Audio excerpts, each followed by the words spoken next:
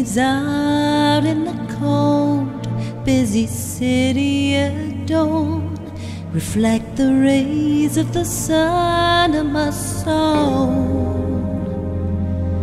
Now that I'm dashing through the crowd of stained winter coats to reach my soul desired flight for Africa,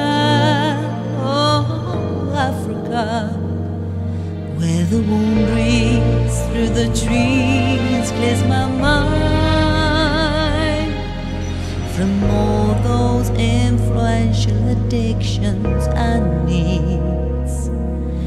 Where the sun rises high and you feel it glowing right inside as the most simple joys and smiling.